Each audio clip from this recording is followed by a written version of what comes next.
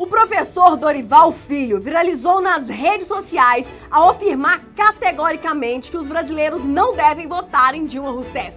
Segundo o docente, Dilma apresenta graves problemas de administração, incompetência, corrupção, sem precedentes, aparelhamento, inflação, infiltração de militantes na administração pública, entre outros.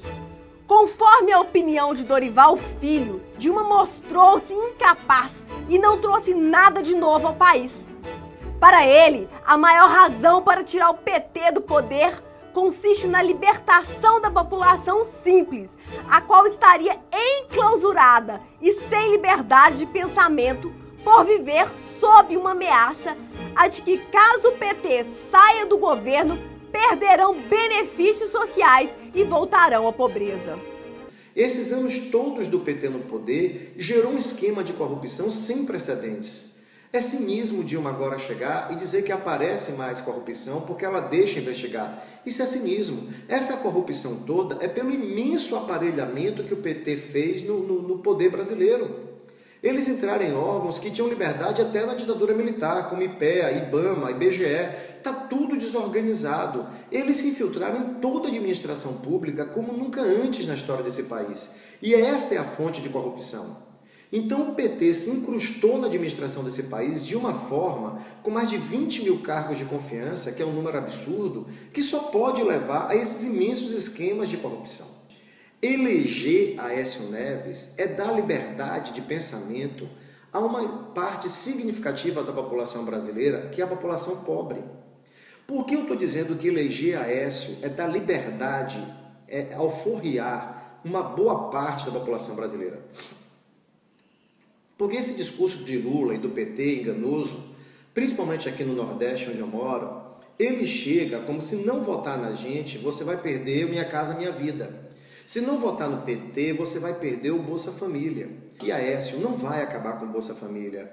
Aécio não vai acabar com os benefícios sociais. Para você, isso é óbvio. Mas para quem recebe o Bolsa Família, não é. Por que eu estou afirmando que ele não vai acabar? Porque justamente foram os dois pilares estabelecidos por Fernando Henrique e por Lula. Que pilares? Fernando Henrique, a estabilidade da moeda. Lula, os programas sociais. Veja que vejo, a dificuldade que Dilma está tendo nessa eleição vem justamente do fato dela ter bagunçado com um dos dois pilares, que foi a estabilidade da moeda. A incompetência dela na gestão econômica é que está tirando muitos votos dela com a volta da inflação e com essa perspectiva terrível do que vai ser o ano de 2015, pela desorganização que ela fez na economia. Ela mexeu com um desses dois pilares e ela está pagando o preço. Agora nós precisamos nos unir para salvar o país dessa tirania, para poder reestruturar a administração desse país que está infiltrada de uma maneira como nunca antes. E principalmente, fundamentalmente, quem mora aqui no Nordeste sente isso muito de perto, nós precisamos eleger a Écio para voltar a dar liberdade de pensamento à população mais pobre, para que essas pessoas possam escolher o seu candidato sem medo, sem ter uma faca pendurada sobre sua cabeça de uma, de, um, de uma aliança, de um eixo Chaves, Fidel e Lula. Ô, Boris, você sabe que isso é no mínimo uma piada de mau gosto. Claro. E eu te aconselho até não repetir isso no vídeo. Porque houve um tempo que houve uma aliança do. Gostou do vídeo? Não se esqueça de se inscrever em nosso canal. Apresentamos vídeos diários com notícias sobre a política e a sociedade brasileira. Compartilhe e ajude a transmitir o nosso conteúdo.